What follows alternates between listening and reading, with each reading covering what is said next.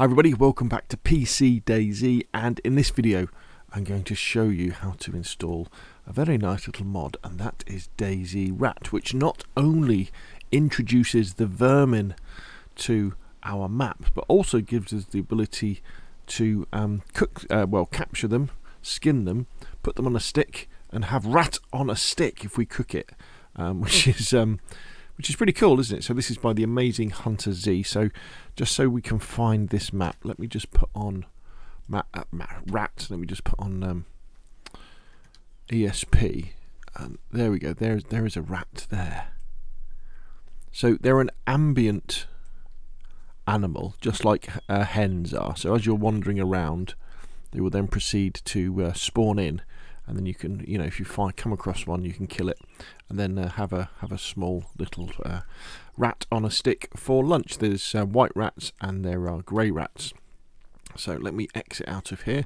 And what we're going to do is I'm going to show you how to install it on a local server and I'm going to show you how to install it on a remote community server. Big believer of uh, using uh, local servers first on your PC because once you've got a mod working and installed on your local server you can then install it on your community server with the idea being that local servers are very easy well sorry that's the wrong word are easier to fault find than community than uh, remote community servers are because you can do everything much much more quicker.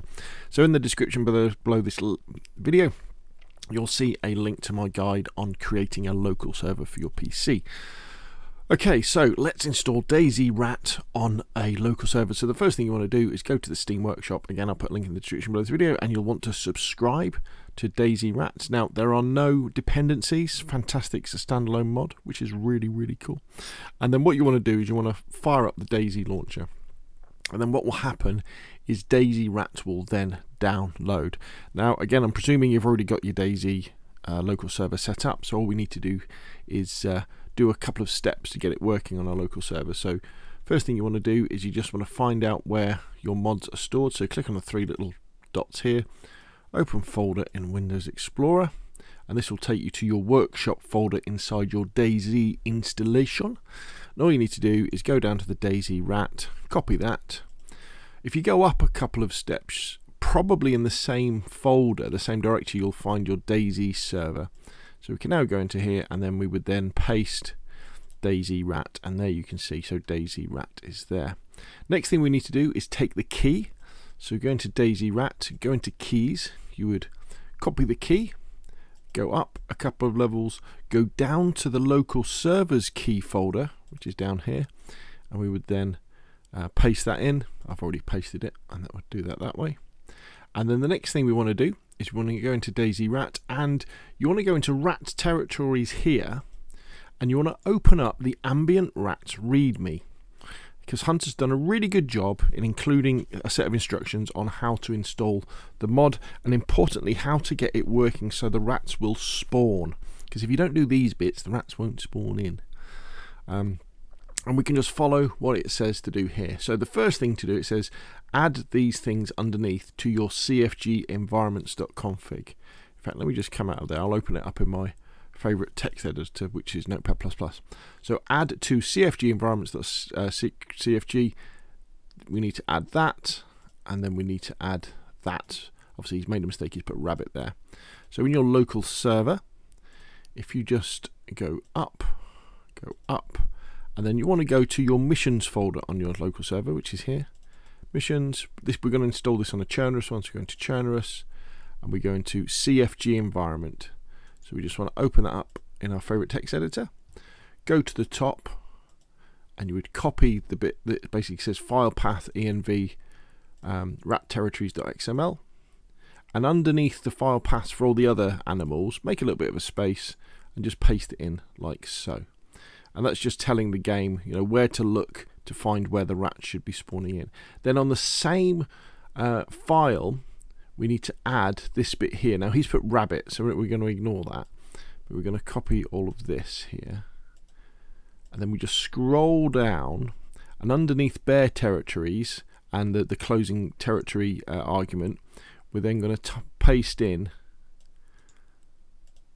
the rat bit. Now I've just added a little comment there. So in DayZ XML files, if you use a left um, uh, arrow bracket, exclamation mark, dash dash, that starts a comment. Then you can type something, then you go dash dash, right uh, arrow bracket, and that, that, that the game basically ignores the writing in an XML file, not in JSON, just an XML. So I've just said, you know, that's the rat.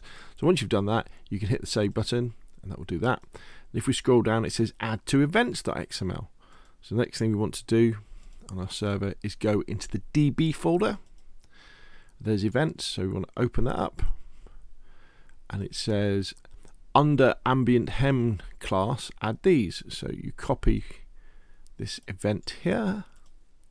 Go into events. Now to be honest I've just pasted it at the top on my one. My one's there. Again always be careful of um, how you copy and paste and remember you should always be going to an XML validator and a JSON validator check your files after you've done stuff and that's the beauty of using something like Notepad++ because if you do make a mistake colors start to change and you can spot things quicker. You won't spot everything, but, you, but you'll spot most things. So that's events done.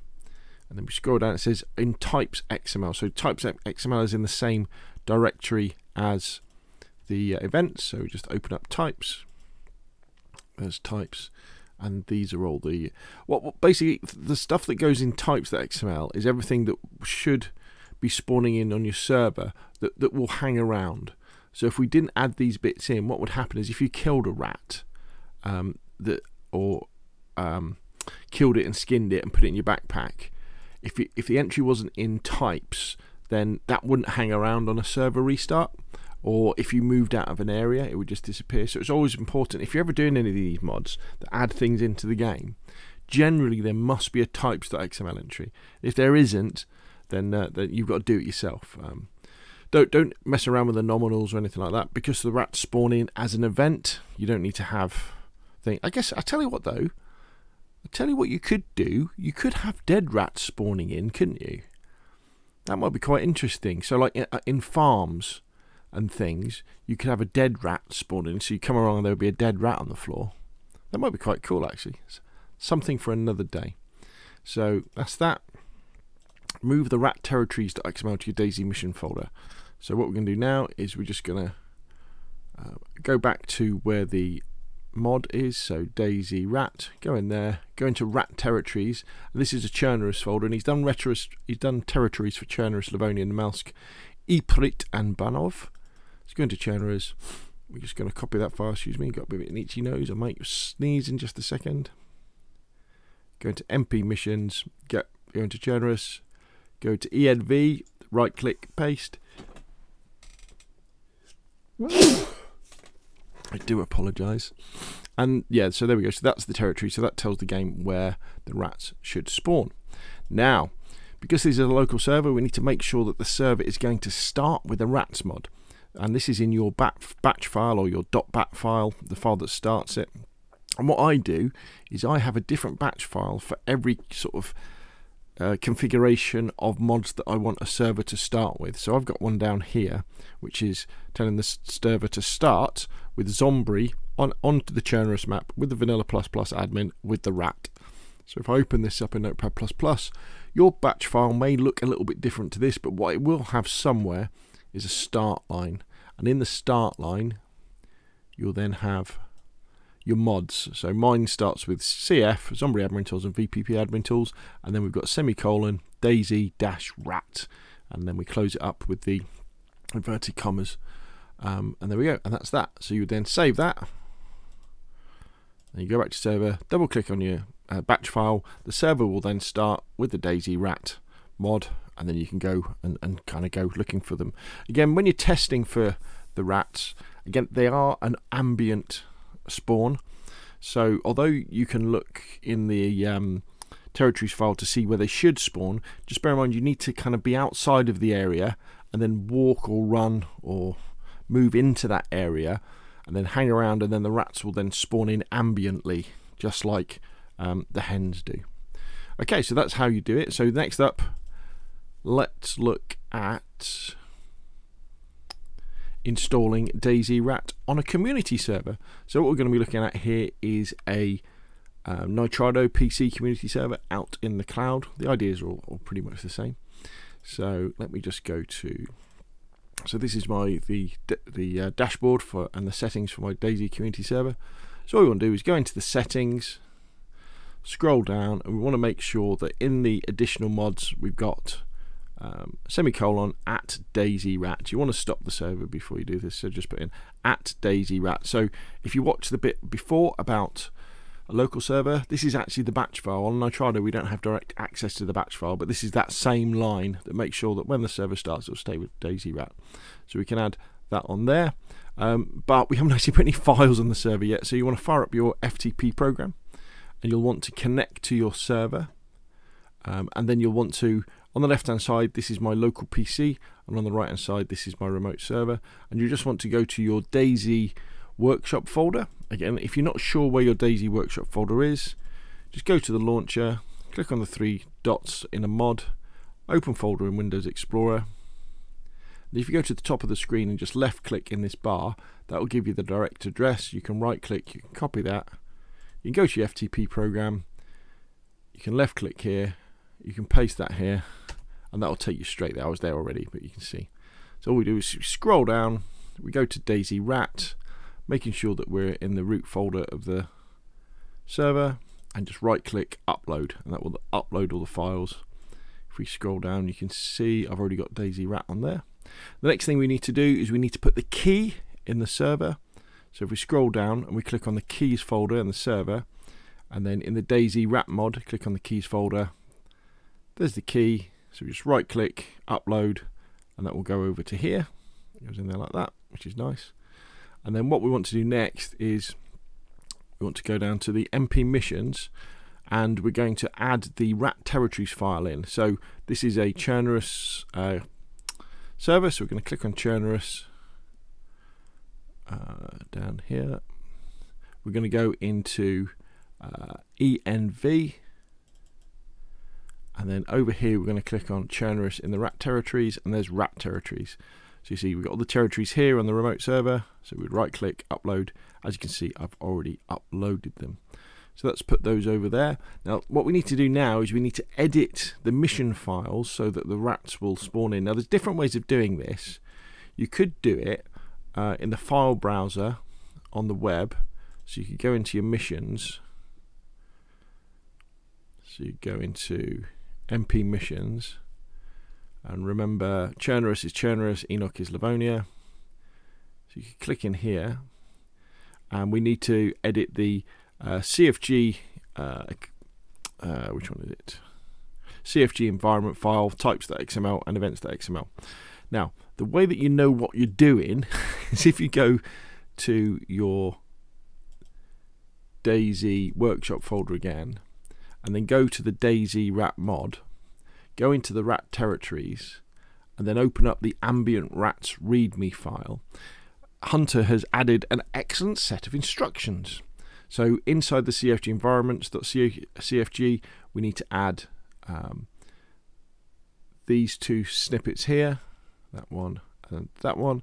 In, inside the events.xml, we need to add that one, and inside the types.xml, we need to add all of these. So the way that I do it is I don't do it from here. Although you can, you can do it. There's nothing wrong doing it from here. You, I actually do it from inside my FTP program. So yours will probably be able to do the same thing as well.